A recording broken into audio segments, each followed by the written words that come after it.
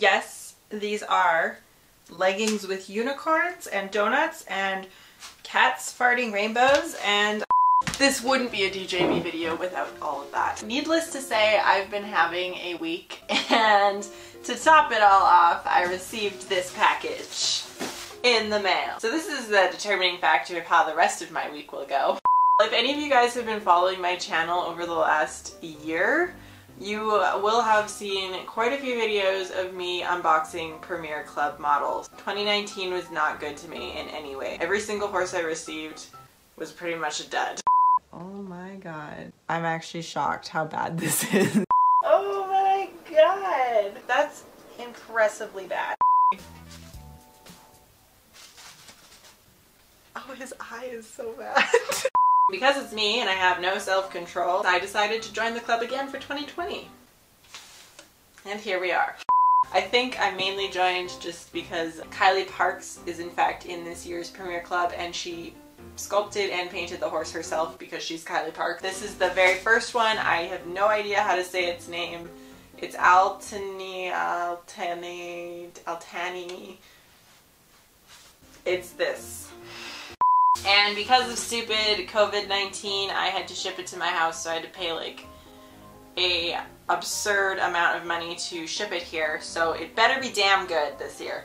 This year was supposed to be my year, and so far it's been a slap to the face. World sickness and killer bees, you know, the usual. So like, how bad could this possibly be? Breyer does this weird thing where when they ship to Canada, they ship things in like an extra box, a lot of paper. That's it. It's big. This box is really long. Are you ready? Are you ready? Are you ready? Wrong way. There we go. Are you ready? Are you ready? Are you ready? Wow! So this is the horse. Heather Puleo. Puleo, I don't know how to say it correctly sculpted him, and then Amanda Brock painted him. This guy is boxed in, so we're gonna see. I don't know if I want to customize him or keep him. It totally depends what he looks like. He has blue eye, which I really just don't like blue eyes, so they sent this again.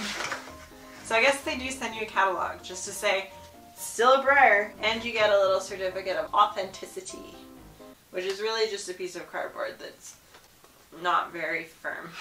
Maybe we need to start saying instead of 2020 is going to suck for the Premier Club, we need to start preaching 2021 DJB Studios. Premier Club Painter.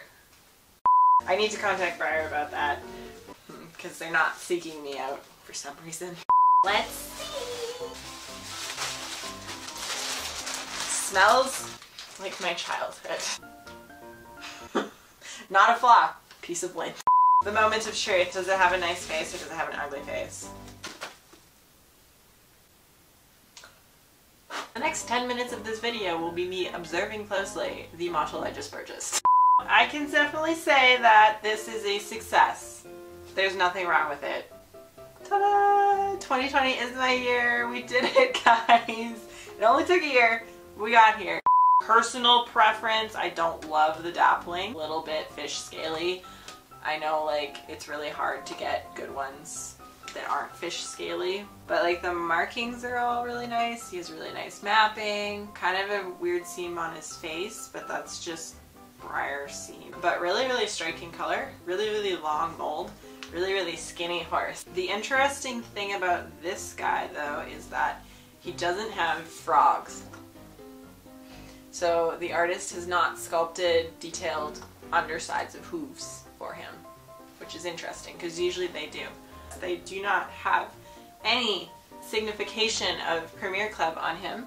I don't know if the other ones did. I can't remember. I kind of just want to keep him, but like paint his eyes brown just because